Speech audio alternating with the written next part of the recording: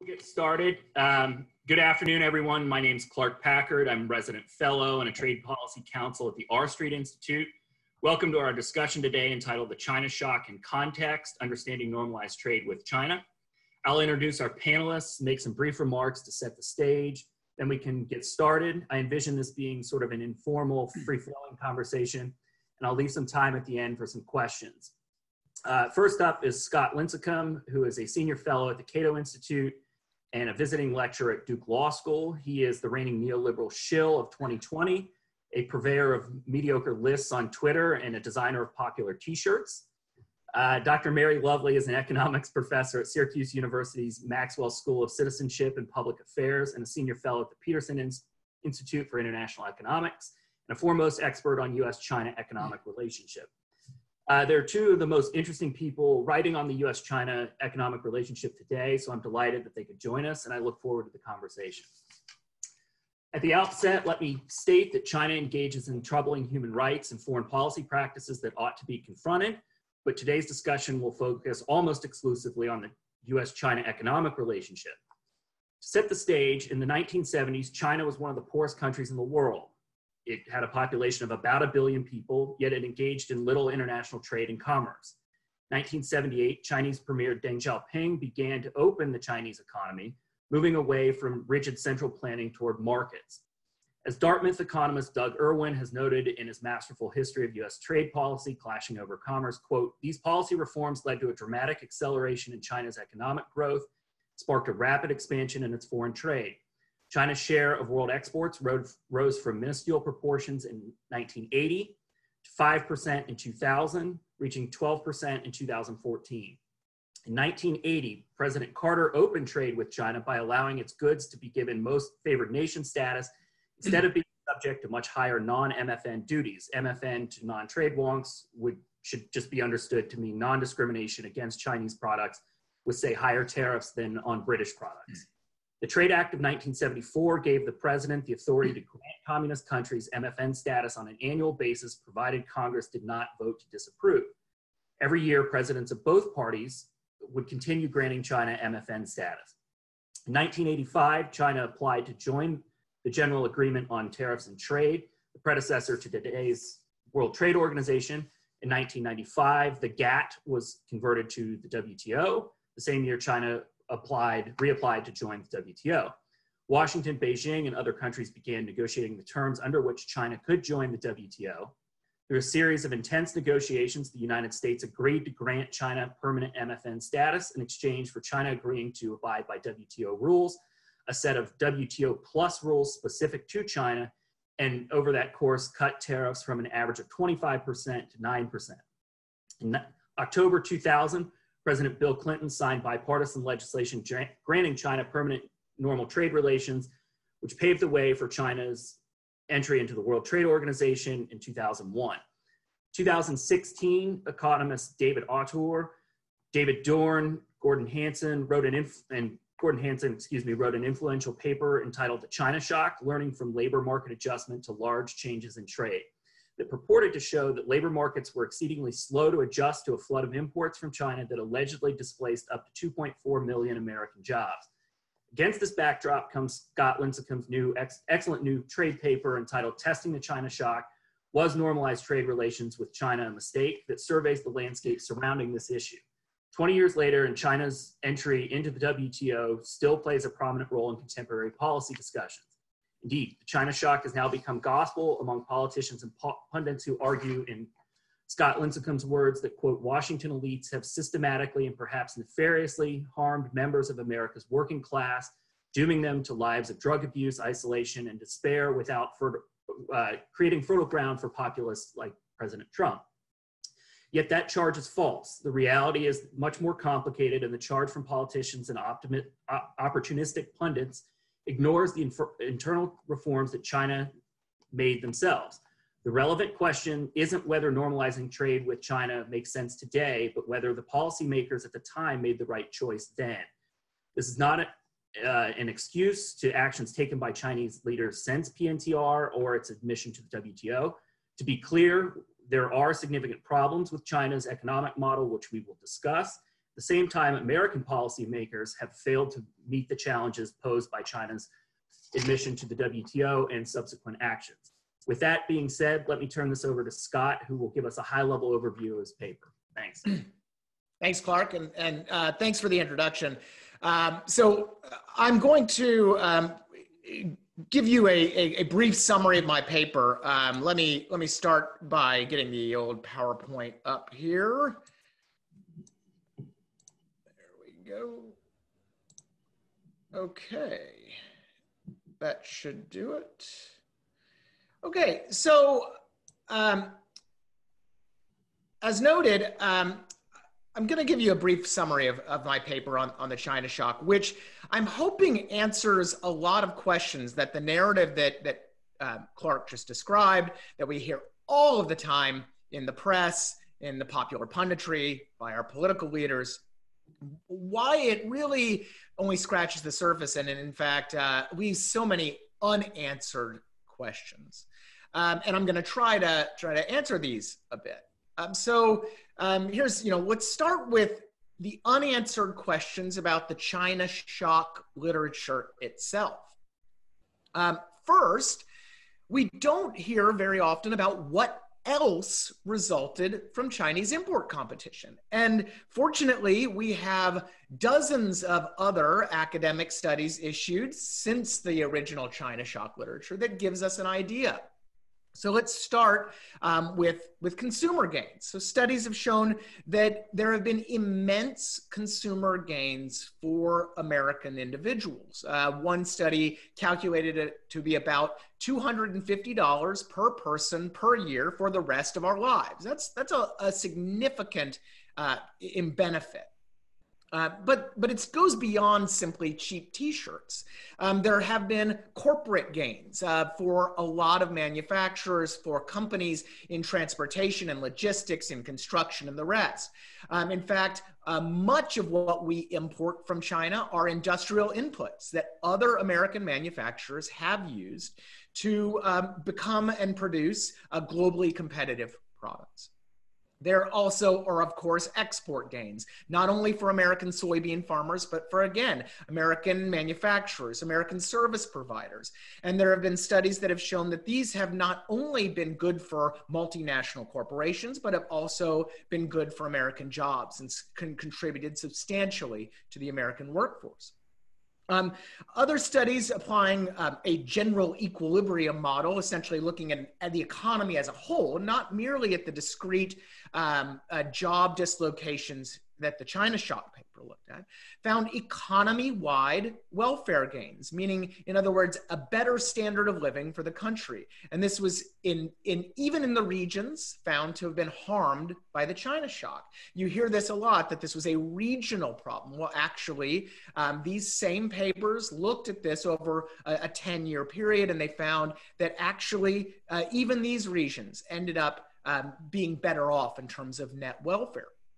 Finally, and importantly, because the China shock is a jobs story mainly, um, we also have seen a series of papers talking about that actually a lot of companies, including American manufacturers, actually produced new and different jobs. Um, this not only was in manufacturing, but also importantly in services. Manufacturing providers, for example, uh, shifting from the provision of uh, the producing jobs to services jobs.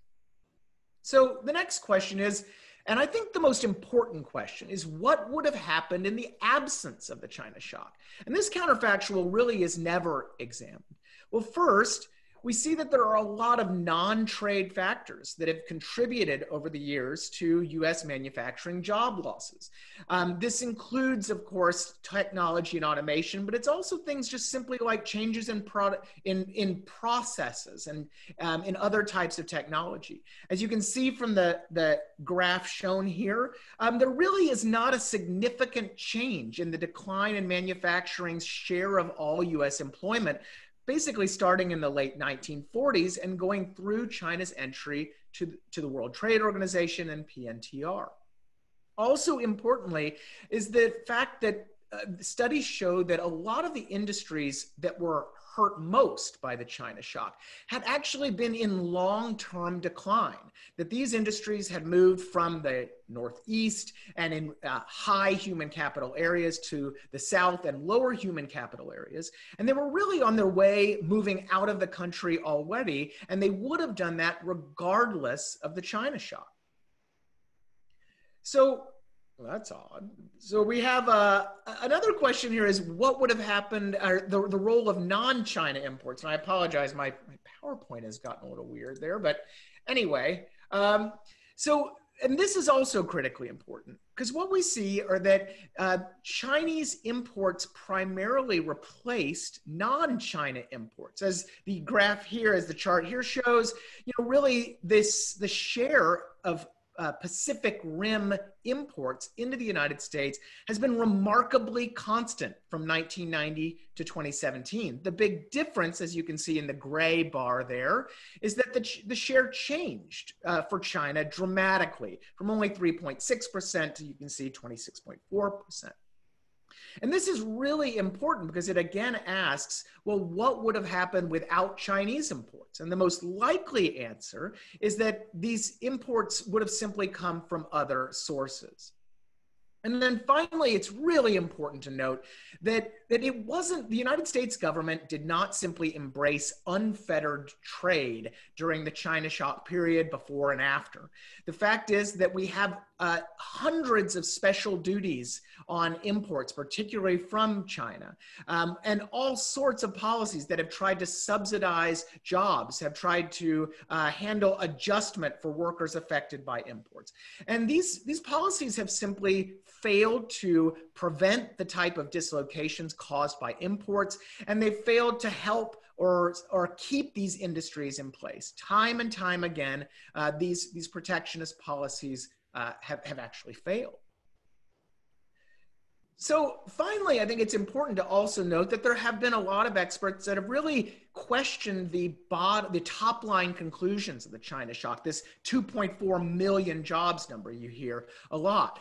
First, some critics ask, well, you know, that is is that that's a gross job number. What about net job losses in terms of the whole U.S. economy? As I uh, noted in earlier in the earlier slides, um, when you include as a net, those job losses essentially disappear, um, and the economy overall, of course, has gained millions of jobs um, since the China shock ended in 2011.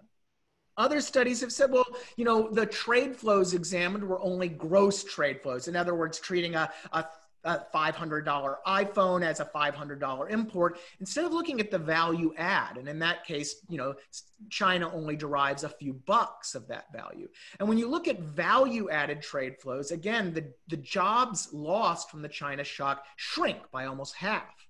Other studies have said, well, the China shock period ended in 2011. If you extend that period out a few more years, then factoring in the Great Recession, you actually see, again, most of these job losses disappear as manufacturing jobs increase substantially since the Great Recession.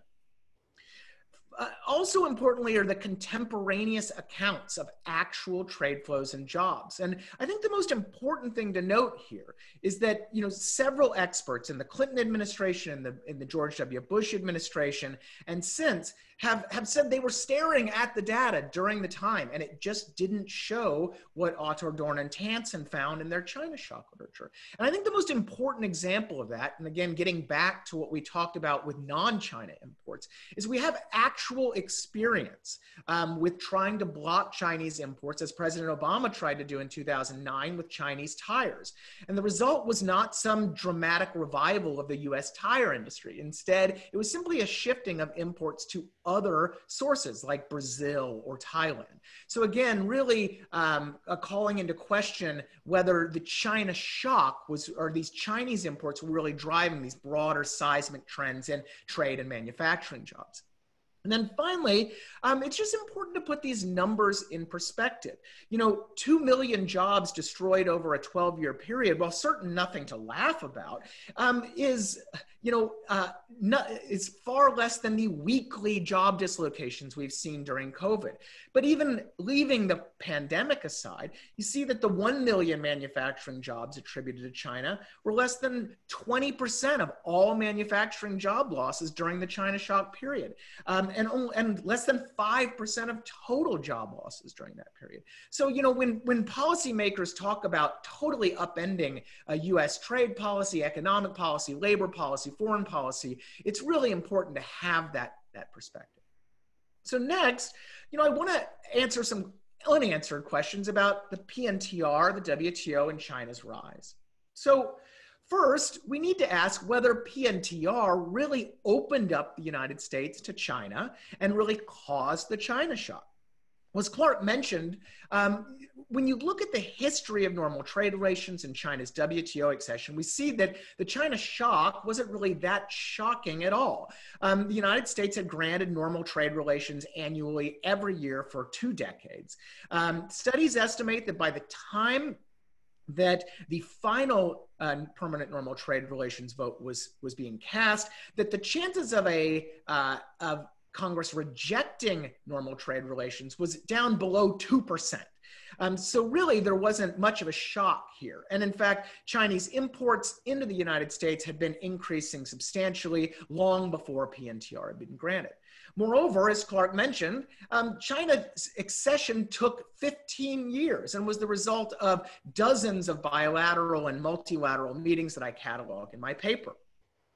Furthermore, um, as there is the question of really what else other than uh, PNTR fueled China's export competitiveness. And there again, there's a, a, thick economic literature showing, as even quoted in the China Shock papers themselves, that it was other factors, particularly China's own domestic uh, economic liberalization and its uh, removing import barriers. As I can sh show you in the tables shown here, um, China's tariff rates dropped dramatically as I was preparing to enter the WTO. And that actually helped fuel China's export competitiveness. It wasn't simply about American policymakers flipping a switch and suddenly China became a, an export powerhouse.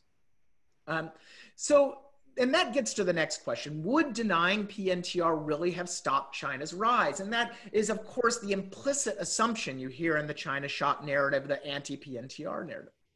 As already noted, the reality is that China's economic reforms themselves are far more responsible for China's export competitiveness. And these were market based reforms, things we would hopefully be celebrating, um, than any sort of single vote by the United States Congress. That was really what was dr- driving China's economic power. Second is that it's really important to understand that there was not a, a realistic uh, opportunity to deny China's entry into the WTO. Um, as already noted, China was reforming substantially in the mid 1990s. Um, but beyond that, this was a country with over a billion people with nuclear weapons and joining an open multilateral trade organization, one that already included uh, command and control economies, uh, included Cuba, included countries with other human rights violations. Um, denying the uh, China entry of the WTO or somehow unilaterally isolating it was simply not um, a really realistic option. And in fact, when you look at the costs and benefits for the United States, this wasn't really about, uh, as you hear sometimes, grand dreams of China becoming another Japan and, and uh, democratizing and becoming this wonderful liberal place.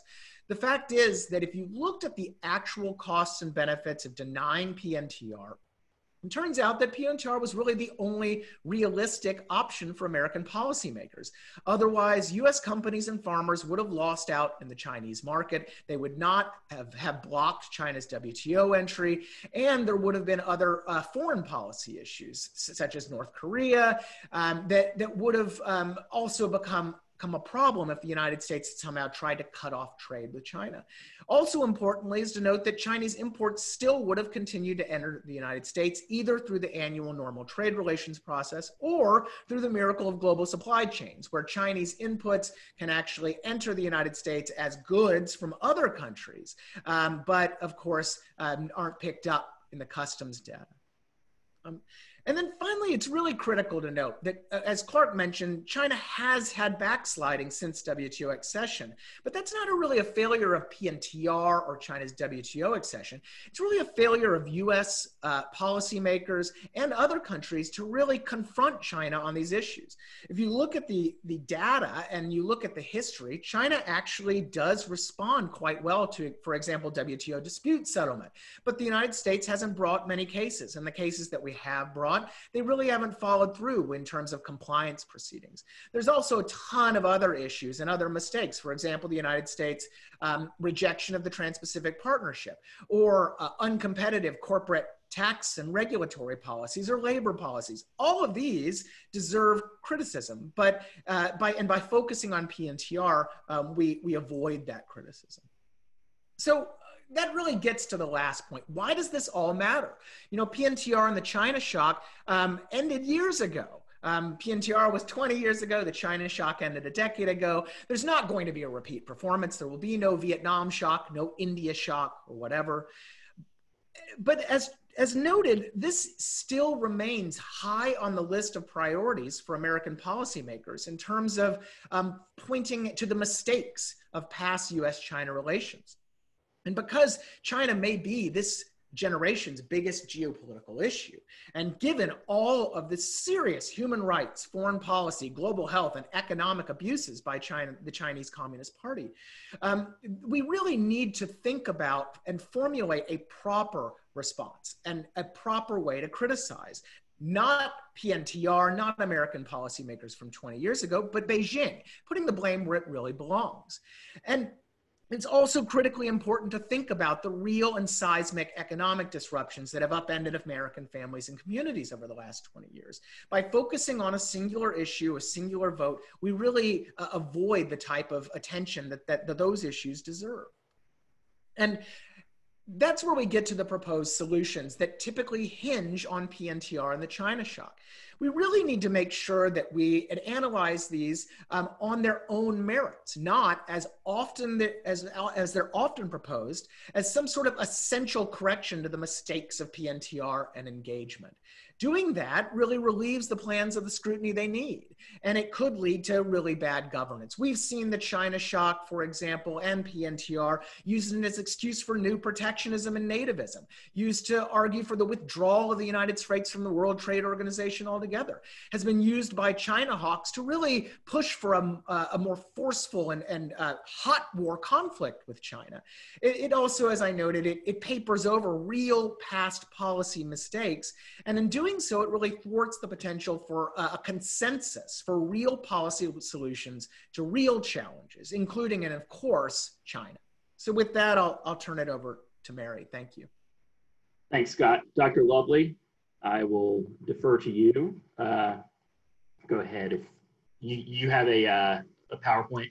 Yep, I do.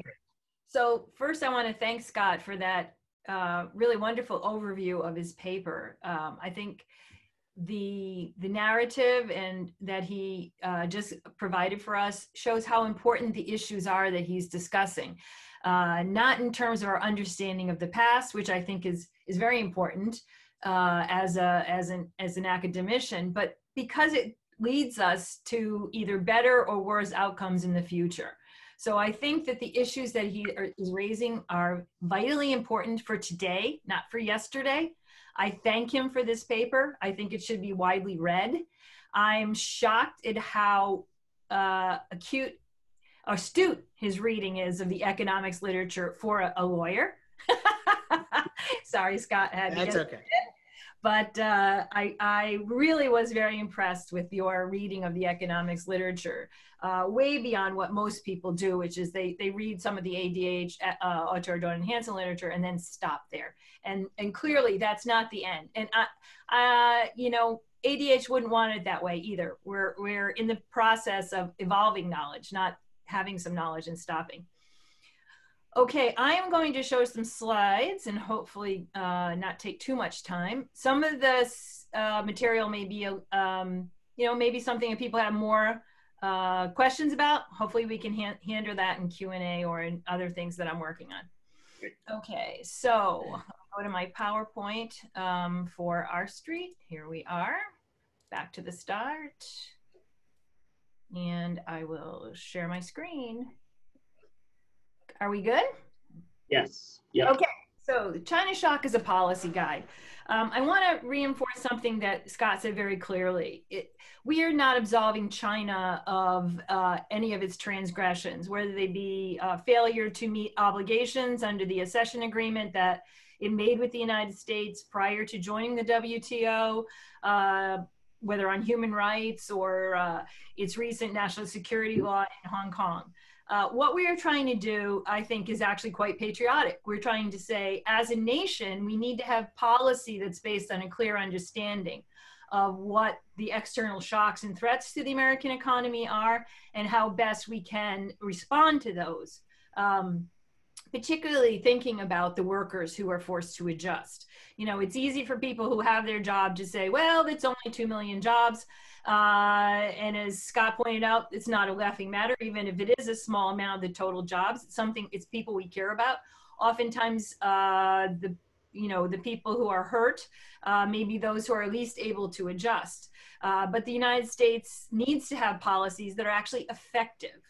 Uh, and where we're going now is toward, I think, uh, more trade restrictions, something that we know is ineffective. It will actually make things worse. And so that I think is, is our cause. Um, so what I'm going to do and try to do it within the time frame is just a little talk a little bit about why Scott's contribution is so important. Uh, and again, I urge people to read the actual policy brief. Then I'm going to do something that's a little a little nerdy, but I'm going to try not to, which is I'm going to challenge the validity of the causal claims that are in the China shock literature. Uh, I think this is important because for journalists and for outside observers, the view is, well, you know, I'm not sure about all this. Like, did did granting permanent normal trade relationship with China really lead to the opioid outbreak or all the suicides? Um, but oh, but these guys and the people who follow them using their methods show that it's scientifically rigorous. And I think the scientific community should have been more vigorous in looking at the scientific claims in the literature. That is a bit of a controversial uh, opinion, perhaps, uh, but I think it's one that the authors would welcome because ultimately we want to get the science right. Uh, third, I'm going to suggest some additional drivers of the US labor market outcomes that I think are very important. Um, and we're going to discuss why these differences in perspectives and their implications matter for policy, basically quickly echoing what Scott said. So um, the China shock illuminated the adjustment costs of shocks. Now, you notice I don't say trade shocks. I think the China shock captured a bunch of shocks that hit the US economy uh, over the last 30 years. And as Scott pointed out, we've had a downward trend in the percentage of employment in manufacturing uh, for quite some time.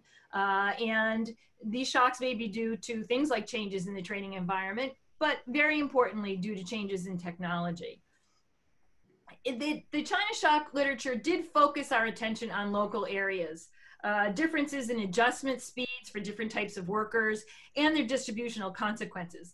Uh, we have all acknowledged that inequality is a growing and severe problem in the United States. Uh, we're looking to remedies to that, and we're we are, I think, most people were surprised at the findings on how slow labor markets are to adjust. People don't move to opportunity. Uh, we need to bring some opportunity to them is one of the conclusions that have, has come from this literature. This is important information that we have gained. Uh, the main policy discussions have focused on net gains, as, as, as Scott pointed out. Um, but there's a, a very strong strain that has veered to what I have here, end at end trade, which means north-north trade as good and north-south trade as not good. And what that means basically is that we will stop giving a hand up to the poorest countries in the world. We will stop using our trade lever as a lever for uh, American foreign policy uh, with the view that it is negative for our economy. Um, and I think that is wrong um, and would be unfortunate. Uh, finally, as Scott there's a very unfortunate neglect of counterfactuals and uh, discussion of the generalizability of results. And what this means, again, is that it casts shade on uh, things like what will happen as India grows. Well, you know, if India ever decides to truly liberalize its external, it seems to be moving in the opposite direction today, but will we offer a hand up? Uh, Vietnam, I think, would, we know would would like to have closer relations with the United States, and yet we have pulled out of the TPP, of which they are a member. So these things have real consequences for real people. Uh, the China shock is very is important and worthy of your consideration because it drives popular narrative about China and more broadly about trade. I put a link here to this China shock info data because you can see at that this website, which is maintained, by, I think, by David Autor, you can link to all the numerous media reports of the China shock uh, findings. Uh, more recently, we've had a Republican example of the power of the China shock, where Ambassador Lighthizer mentioned it in the Foreign Affairs article as justification for higher tariffs uh, on China. We have a Democratic example as well from Elizabeth Warren on the campaign trail, who said that the data show that we've had a lot of problems with losing jobs, and the principal reason has been bad trade policy. When this was fact checked by the AP, they referred to this is one of the Autor Dorn and Hanson papers. This one was focused on industry losses as opposed to regional losses. And they found that trade with China contributed to shuttering factories and the loss of roughly 2 million jobs. In other words, the China shock has become received wisdom. Why is the public narrative about China instead of adjustment? In other words, why have we focused our animus on China instead of thinking about how we can do a better job of making the uh, uh, American labor market more flexible and resilient? Um, it's Dorn and Hanson emphasize the slow adjustment of, of labor markets and the need to target policy toward easing pain. So they themselves have pointed us, I think, in that direction. Unfortunately, the China shock literature claims point us in a different direction because they claim to have scientifically identified Chinese exports as the singular cause of this pain. If you believe that, it's simple stop the exports, right? So that's that's you know it's it's understandable that that despite ADH's claim of wanting free trade or freer trade, it's understandable that this is where our policymakers and the popular uh, imagination have gone. Now, their scientific strategy allegedly leads them to assign specific job losses to China rather than to other drivers.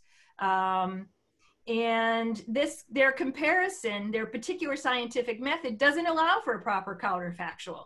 As scott as scott mentioned there's no thought of what would happen in the abs in the absence. So scientifically when we think with without when we think about what would have happened if we hadn't granted China permanent normal trade relations. We'd want to run a scenario where the, the world evolved in a completely different fashion. As, as Scott mentioned, in that world, almost surely imports from the Pacific Rim would have maintained their total share of, total imports. And so we would have seen imports from other countries rather than China, not a reshoring or emergence of US manufacturing to replace that. Um, okay, um, oops you know what? Can I just let me stop sharing for one minute? And I think I have an abbreviated, um, I apologize for this, but I have an abbreviated presentation that I'd like to use. Um, and hopefully I can find it. I don't want to bore you with everything that has uh, on that slide. So, um, Okay, no, nope. Okay. Um, I'm going to try this instead. Sure. Sorry about that, folks. We always have a little technical difficulty. okay, and where am I? Yeah. Okay. So let me go here and say, is there reason to doubt the science? I was just talking uh, to you about the science and um, same thing. Okay, so let me let me talk to you about why I think there's doubts about the science. Um, when Autor Dorn and Hanson were interested in showing that it was specifically China, exports from China that were causing the pain, they needed to think, well, what else could be correlated with that? We don't want to ascribe, say, import demand shock in the US, uh, which would both increase manufacturing jobs and suck in more imports with this. And so they developed a method of doing this, which said, hey, let's look at exports to Europe and say that's what it would be uh, in the absence of any kind of, you know, domestic disturbance. This has become a very popular approach to so-called identifying the China shock. And it has been used in things like uh, American uh, outcomes related to suicide, divorce, uh, you know, local uh, finance, local public finance issues, etc. Now, um, why might we think that they they didn't capture everything with these exports to uh, Europe? And my argument is very simple. Exports from China were driven by a variety of factors. Scott has emphasized the domestic uh, reforms that China took, and which clearly were very powerful in driving the productivity of Chinese domestic firms. There is no question that China's domestic reforms were important. And, and Autor Dorn and Hanson freely admit that and say, okay, that's fine, but it's still a China shock. What I want to say is that there was a larger shock going on. This was it, we can think of it as a technology shock. 1990 to 2010, we can think of that period, was a period of tremendous fragmentation, particularly in high tech industries. We had um, companies in the U.S. that folded. Uh, we can think, or were, were really had to change their business model. You can think about uh, such familiar names to older people like myself, like Texas Instruments or Digital Equipment Corporation or Compaq or even IBM, which completely shifted its business model. And what happened then was, of course, that we started getting imports from China. Oftentimes, those imports were not produced by uh, the American company investing in China. In fact, American multinationals were fairly slow to invest in China, slower than our European uh, peers. Instead, what happened is that a lot of other companies from Taiwan, Macau, uh, Singapore, Japan invested in China and became the source of these uh, imports into the United States. So um, let me just show you, I think, a very telling table. So this is um, a table that talks about uh, the shares of Chinese exports in different years. Here we have 96, 2001, 2006, and 2013. And it shows you the type of firm that these exports are coming from. And here we have annual growth rates. So let's look at the prime China shock season here, 2001 to 2006. And I have highlighted them in yellow. The first type is um, what we call WFOEs. These are wholly owned foreign subsidiaries. So these are non Chinese companies operating in China. The growth rate of their exports over this period was 34.5%. What about joint ventures, also a form of foreign invested enterprises, over 20%? What about private firms? Yes, they grew extremely fast, but look at what their share was. Their share in 2001 was only 2%. In other words, when we started this whole process, private firms in China were virtually, virtually a non factor in exporting. Uh, SOEs were very important, eh, but equally important, even more important, were foreign invested enterprises. So it reminds me a little bit of, about Pogo. We have met the enemy and he is us. In other words, we are driving the China shock. And this is important because it leads us in um, several directions. Um, and let me, let me, uh, so I'll just add one more thing. Now, did this foreign investment export surge hit the countries that, that ADH use uh, to create their scientific, I call it, it's an instrumental variable known as IV but they basically said, well, that that's what we can use. And what we have here is a number. You're looking at the growth value of billions of U.S. dollars over time in exports into four different categories. This solid blue is exports from foreign invested firms to the U.S. And you see that tremendous growth that we've been talking about, right? Um, and but you also see the exports from foreign invested firms to the countries that ADH say are, are, are fundamentally not experiencing the same thing as the US. These supply shocks, which I call it. And you see that that can't be true. They're following almost the same growth path. And here we have exports from private firms to both, which are following the same growth path. So I'm going to stop sharing my screen there and make a couple of final comments. I think that our focus, our, our, our tunnel vision on the China shock and as China as the source, it's all China, blinds us to this larger phenomenon that has been going on. Uh, and it blinds us to what we can do about it. First of all, we have to ask ourselves wasn't it gainful? Uh, let me ask you iPhones are wildly overpriced. As someone with two children, I can tell you it cost me a fortune to go to the Verizon store and replace our phones, right? You practically need to go to your bank to get a loan. Many people, in fact, do. Actually, when you pay when you pay it off month by month, you are getting a loan. Think about who gets the money from that. And you would have to say, hmm, seems to me Apple. Yes, Apple. And the very fine jobs that have been created by Apple in the United States. Apple is a non manufacturing firm, it doesn't show up. None of those jobs show up in the China. And more importantly, none of the profits which Apple has earned, which have flowed to many wealthy people, yes, but also many pension funds in the United States, and have been largely untaxed by the United States. These are important aspects of our debate. What do we do? I was in Europe for the German Marshall Fund, where a French economist said, someone asked, well, why hasn't Europe had the same trouble with China that the US does? And he said, well, because everybody knows what happened to the United States. They lost as a result of China.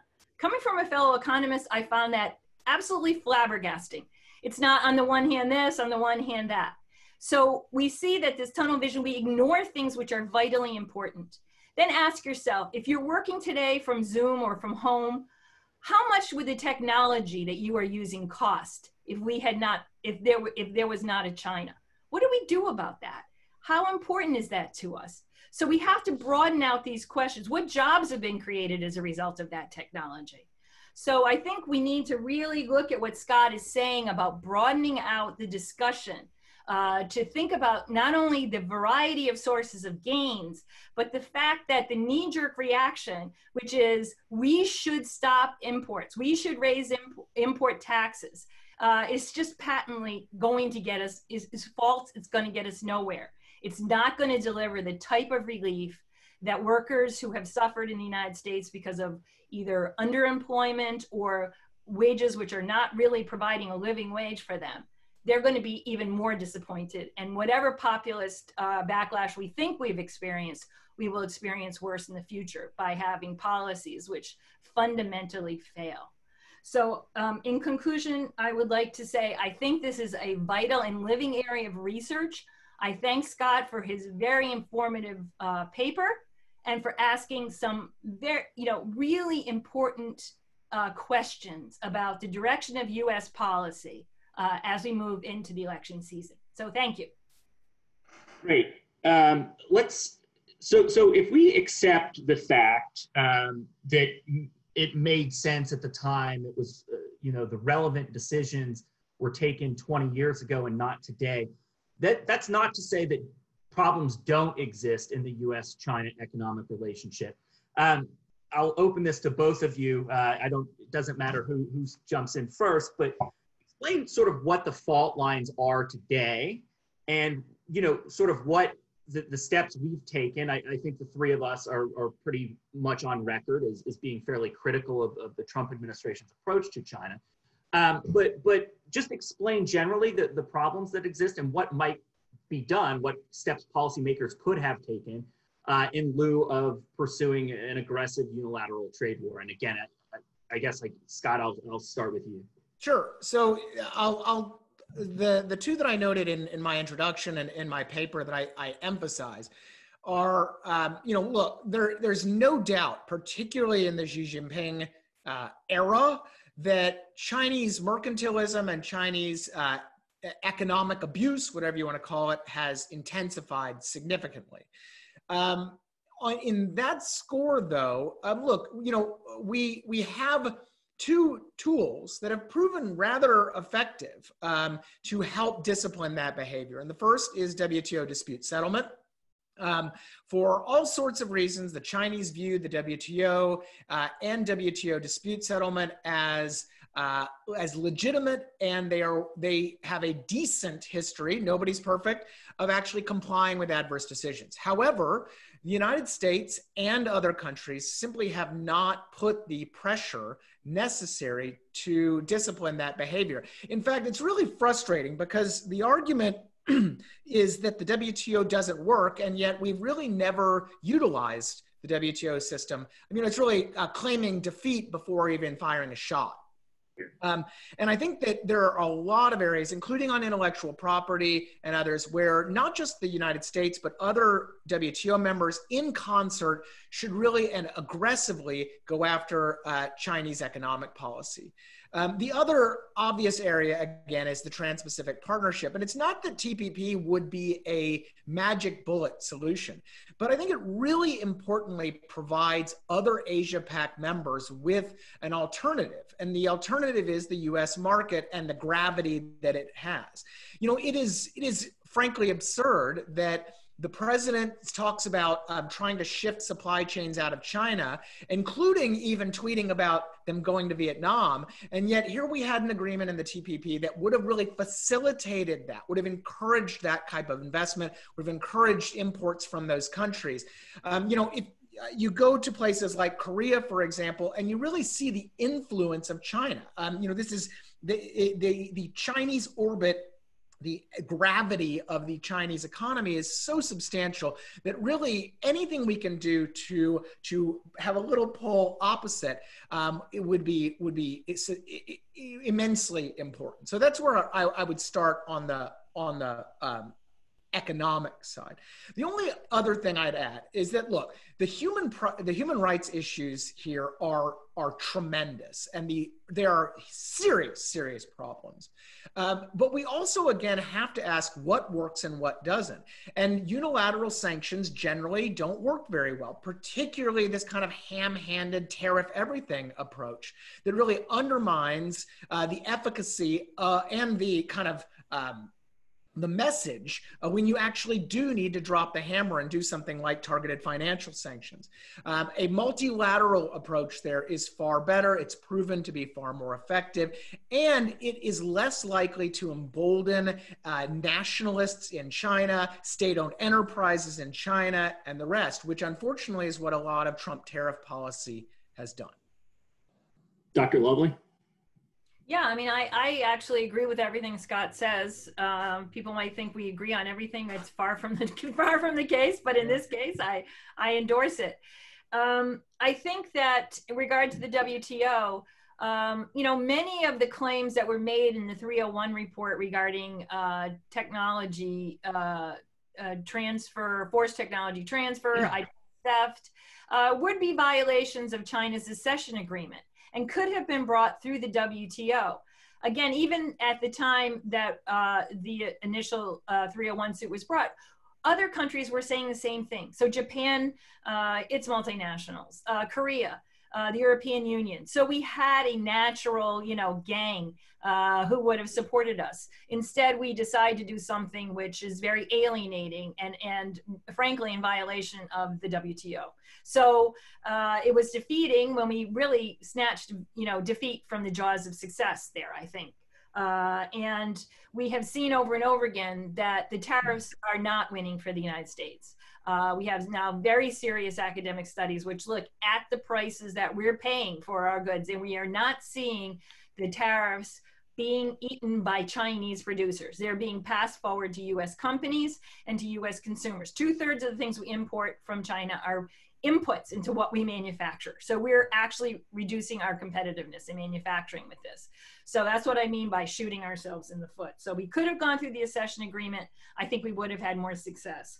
Um, just to add one thing to Scott uh, saying that we know the mercantilist uh, behavior has increased. I would just take a step back and say we need to we need again to take a more nuanced approach.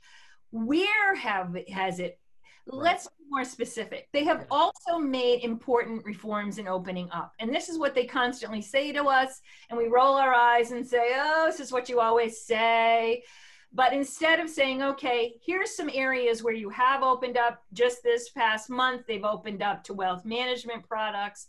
Uh, they are removing ownership controls for um, uh, the manufacture of regular, you know, ordinary combustion engine uh, uh, automobiles. Uh, you saw them open up on electric vehicles for Elon Musk. So there's there's lots of other areas, uh, less you know top line, where China has opened up. So what is it that they're doing? Unless we really know that, we can't have that. No, we want you to change this, and that is what we need. And we have in fact sort of retarded the U.S. government's ability to engage in that by yes having fewer people on the ground having fewer reporters there uh, and having uh, just fewer experts who are able to tell us uh, where to go and that's going to hurt our negotiations uh, and our ability uh, Barry Naughton um, a very well-known observer of the chinese economy and the author of two very uh, popular textbooks on the chinese economy recently called China a strategic opportunist before the US China Security Economic Commission. And I think that is an excellent way to put it.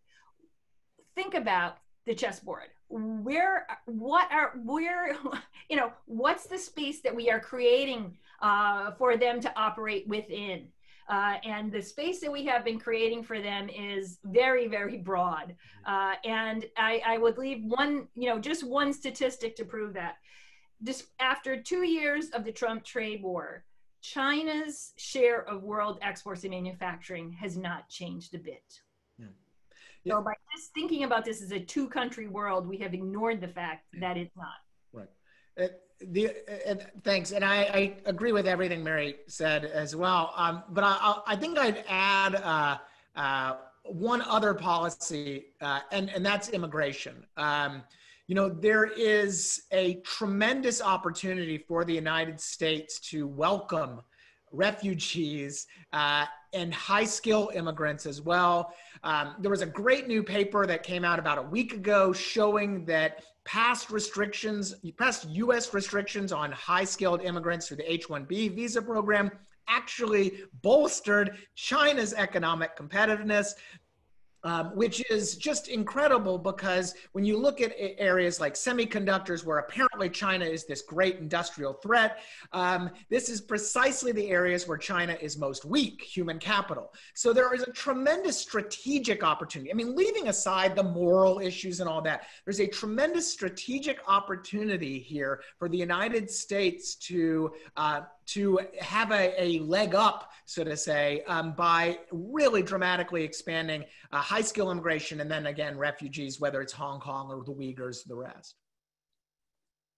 I think that's right. Um, I, I, would add onto this, I'll uh, use some moderator's prerogative here, that I, I think that there needs to be some humility among policy analysts and policy makers in the United States because the idea that there's any one sort of silver bullet that, that the United States can uh, use to, to radically overhaul yeah. the economy, I think is, is ridiculous. Um, but, but to be fair, I think that both Dr. Lovely and Scott have hit on important things that the United States can do sort of on the margins, right? Um, and so we, it's important to kind of um, define expectations downward um, you know, we would all love to see dramatic changes, I think, to the to the Chinese economy, especially in, in certain areas, industrial subsidies being a, a primary uh, example. Um, but but again, it, it's this will not happen without buy-in from the Chinese. They have to want to make these decisions or make these changes. Um, and you know, I just don't. Sort of getting to to Scott's point, I don't know that. Um, our ultra hawkish rhetoric and, and some of these other issues that sort of bubble up around around this uh, relationship do much to, to help uh, that that cause. Um, that's not to say that the United States should sit by idle and, and sort of let this happen. I, I think there are serious and real challenges, but I, I get back to the overall. Um, one of my frustrations with this conversation that, that instead of thinking about this stuff going forward, how do we adapt to where we are today? We spend way too much time litigating 20 years ago, and, and people have latched on as, as both uh, the guests have, have discussed um, in ways that I, I think are, are really detrimental. It, it, doesn't sort of move this conversation forward. Um, but but you know it, it's it's weird, right? You, you, listen to to members of Congress um, and pundits, and there's just this massive consensus right now that that we are on the verge of a cold war with China, and the United States needs to be actively um, sort of antagonizing China rather than trying to figure out ways to work with the Chinese on certain issues. Acknowledge that there are going to be certain areas where you're not going to agree, um, but but where can you agree, and what can we what can be done to sort of move the ball forward? Uh, those are my sort of closing thoughts. I will see if there are any questions, um, and I I don't see any. Um, I will give this just a minute. Uh, see if there are any further questions. All right. Um, hearing or seeing none, I guess. Oh, hold on. One's coming. Riley Walters from the Heritage Foundation is typing out a question.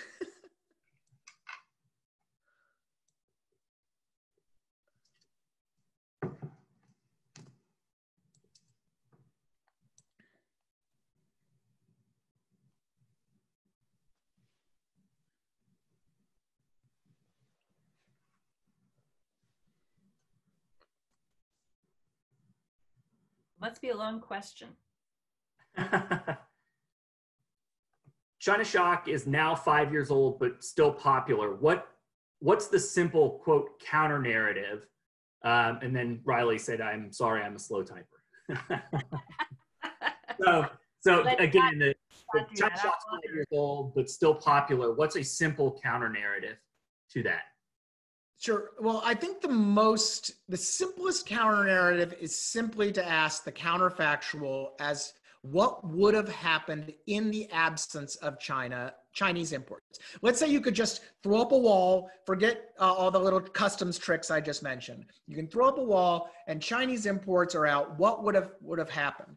And I think that is um, that is the, the what we know or what we, we see in the data and what we know from experience is that blocking Chinese imports would not have prevented the, the shock that we saw that that it is not simply a matter of Chinese imports. These are actually far more kind of uh, far bigger and more seismic issues dealing with labor markets and cultural issues and communities and the re- and industries, evolution of industries.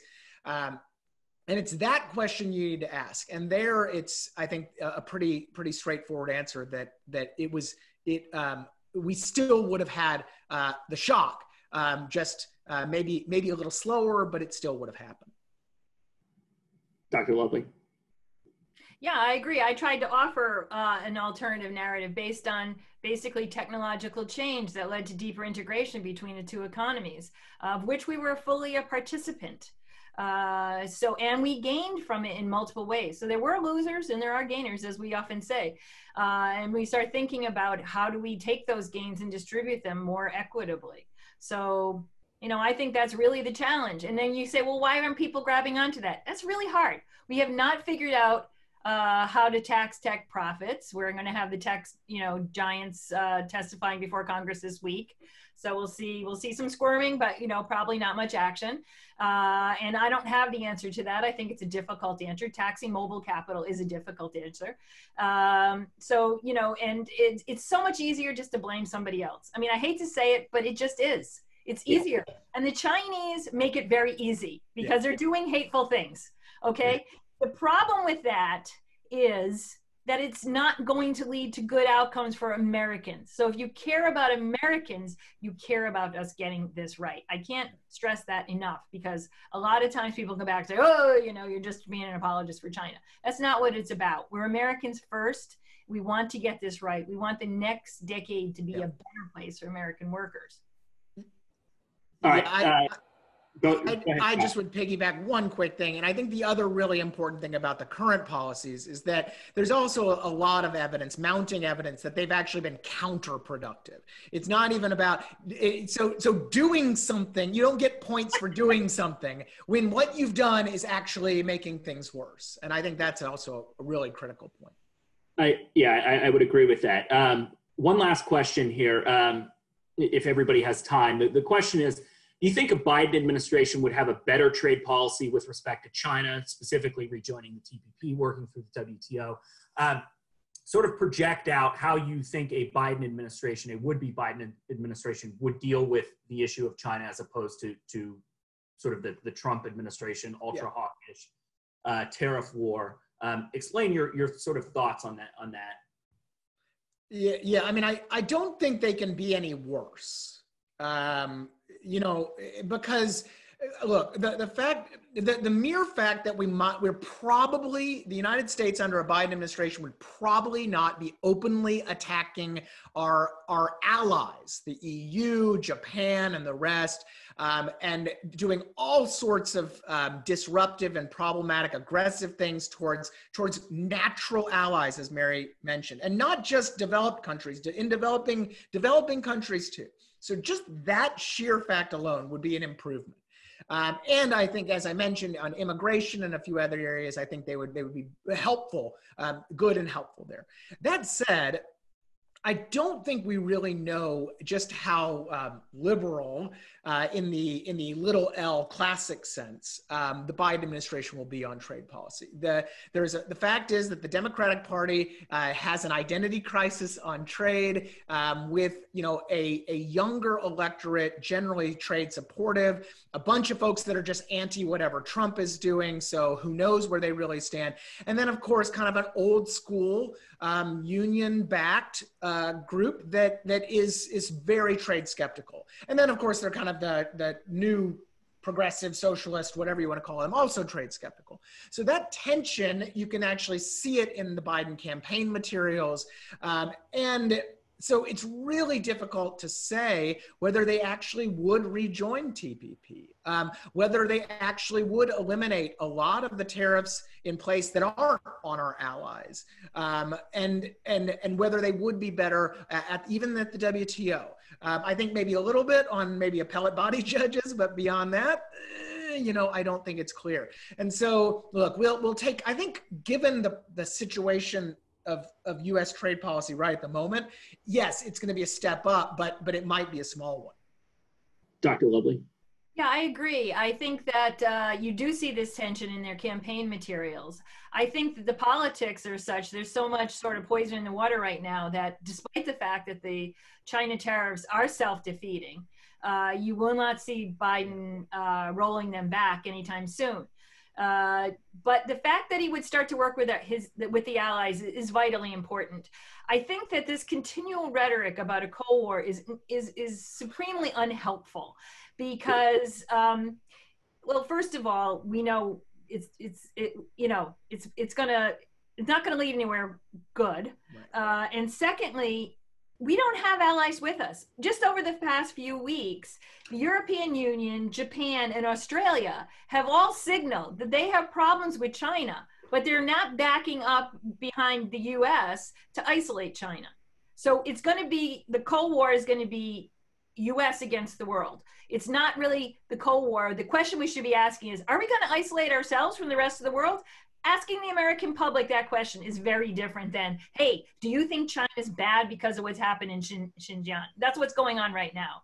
So I think changing that rhetoric can be very important. I think leadership is important in terms of how we view China. Uh, Pew polls have shown an extraordinary increase in support for trade. Uh, surprisingly, you would think during this period of hot trade wars, it would absolutely be going in a different direction, and it isn't. So I think leadership matters. Uh, I think the American public is ready for a new approach, and I guess we'll see in November. Great. Um, do we have time? Do you both have time for one last question? Sure. Okay, great. Um, question is, is there a way to draw a, a clear line between Chinese policies and practices that pose a legitimate national security risk to the United States and those that don't? In other words, by, by identifying national security risks, we may be in a better position to maintain beneficial economic relations in, in other areas. Um, I'll go first to give Scott the last word because this is sure. his party. But um, you know, I think that it's important for national security official, you know, experts and, and economists to have a dialogue, and maybe even lawyers, because I I'm I'm finding that they have value. Um, you know, but um, that's a hard thing. It, it's not something that is done easily. Uh, so that we are cognizant of the economic costs. You know, national security types will say, well, better safe than sorry, let's close it off. Right. Even though we know that a lot of times these routes are easily, you know, arbitraged around. So I think that it's important that we have that discussion, but we, as we've seen time and time again, drawing these you know lines very clearly as the, the the person who asked the question might ask. It's just impossible. It's going to be trial and error. We're going to have to work with our allies. We're going to have to you know reignite our cooperation on intelligence uh, and export controls. Uh, and right now i think our allies are not on board with that in a way that they need to be. So i'll leave the last word to scott Thanks. And so I um, I agree with that. I think that look, I think there is a way to establish some pretty clear metrics to define what is not a national security threat. And I think that's the starting point.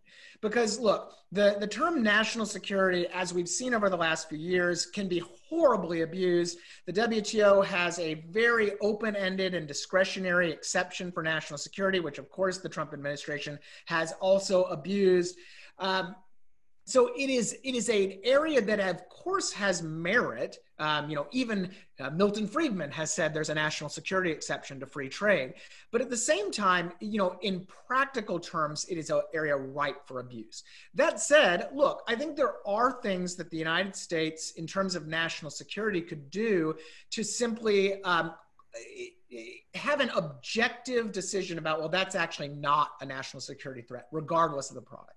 And and that should start with things like examining well what is domestic actual domestic production in the united states? You know you look at steel for example we had national security tariffs put in place when we were still producing 70% uh, us steel industry had 70% market share. Crazy crazy stuff right so you start at US production and market share, look at global production and market share, China's share of that. Um, and then once you establish kind of those objective metrics, then I think you've narrowed down the field dramatically.